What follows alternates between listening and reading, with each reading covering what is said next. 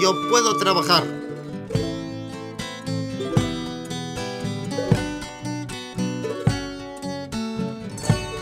Déjame mostrarte cómo puedo trabajar.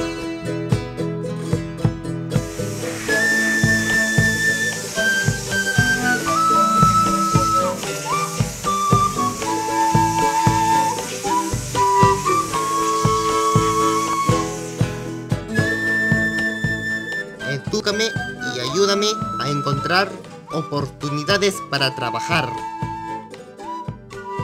Quiero ser una persona independiente y valiosa.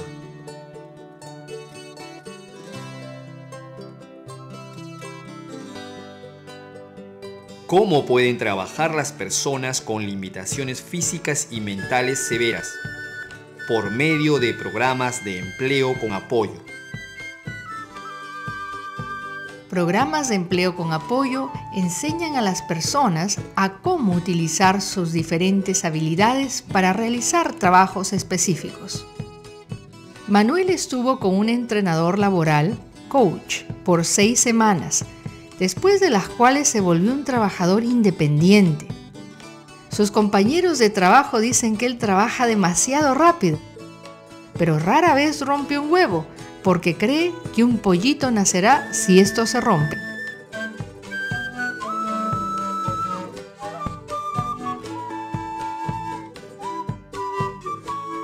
¿Qué es empleo con apoyo? Es trabajo real, con salario normal, en lugares reales de trabajo.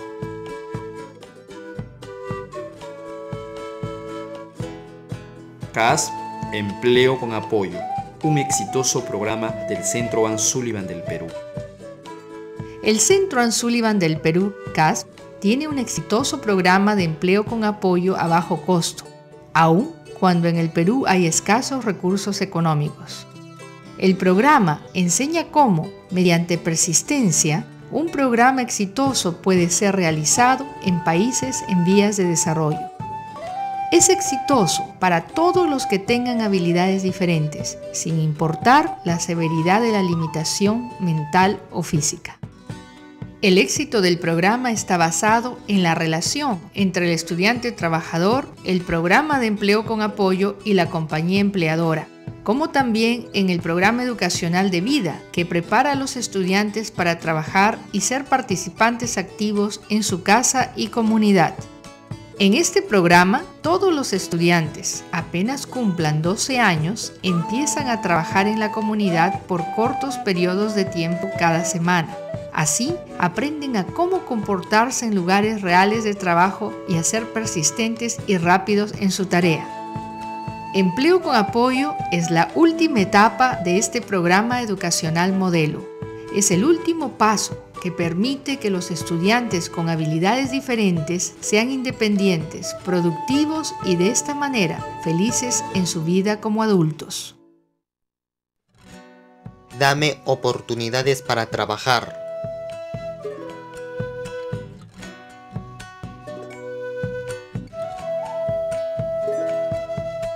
¿Por qué las personas con habilidades diferentes deberían trabajar en el mundo real?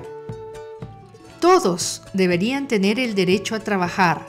Si las personas con limitaciones tienen la oportunidad de tener un trabajo real por un salario normal, entonces pueden estar totalmente integrados a la sociedad. Todos deberíamos tener el derecho a trabajar. Pueden ser como cualquier otra persona, independientes, productivos y de esta manera personas felices. Todos deberíamos tener la oportunidad de ser independientes, productivos y felices. Me gusta trabajar. ¿Los trabajadores con habilidades diferentes tomarán los trabajos de otros? Ellos no toman los empleos de otros trabajadores. Ellos compiten por los empleos como cualquier otra persona. Si las personas con habilidades diferentes pueden ser capacitadas a realizar un trabajo tan bien como cualquier otra persona, se les debería dar la oportunidad de competir por ese empleo. No tomarán los trabajos de otros, compiten por un trabajo como todos los demás. es su derecho como ser humano.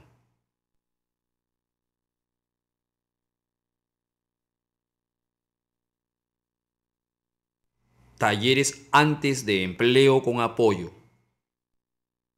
Cuando no existen programas de empleo con apoyo, las personas con habilidades diferentes se quedan en sus hogares o trabajan en espacios segregados de trabajo llamados talleres protegidos. Estos talleres deberían capacitar a los estudiantes para trabajar en empleos reales en la comunidad. Pero muy frecuentemente se centran en realizar las tareas asignadas en los talleres protegidos y no en capacitar a los estudiantes para trabajar en la comunidad. Así, en la mayoría de los casos, las personas que trabajan en talleres protegidos permanecen ahí y no avanzan a trabajos reales.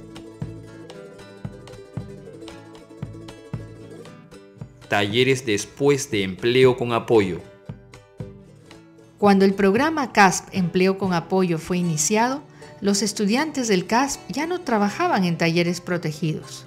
Ahora se les enseña desde que tienen 6 o 7 años, los buenos hábitos de trabajo como parte de su educación diaria.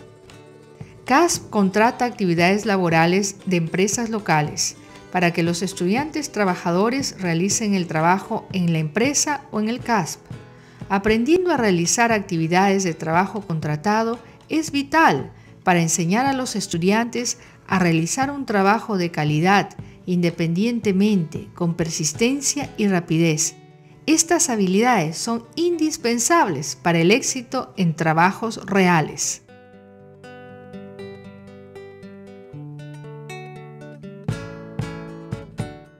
¿Cuáles son las diferencias entre ambientes de trabajo integrados y segregados? Espacios de trabajo integrados incluyen a trabajadores con muchas habilidades y limitaciones diferentes. La colocación laboral en estos espacios se centra en las habilidades de los trabajadores y esto resulta en mayores expectativas laborales.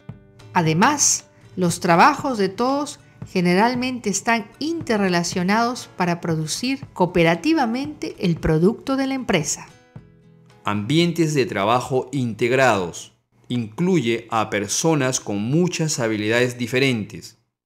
Enfoca las diferentes habilidades de los estudiantes trabajadores. Igual, expectativas altas. El trabajo es interrelacionado para hacer productos cooperativos. En los espacios segregados de trabajo, todas las personas tienen alguna limitación física o mental el enfoque reside en la compensación de sus limitaciones, lo cual resulta en bajas expectativas laborales. Los trabajos típicamente producen productos individuales, como collares o agarradores, y no son interrelacionados para producir productos para fines sociales específicos. Ambientes de trabajo segregados incluye solo a personas con limitaciones físicas o mentales enfoca las limitaciones de los estudiantes trabajadores, igual expectativas bajas. El trabajo es individual.